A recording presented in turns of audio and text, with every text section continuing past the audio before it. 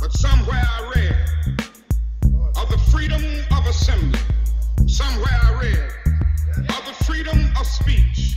Somewhere I read of the freedom of press. Somewhere I read that the greatness of America is the right to protest far right.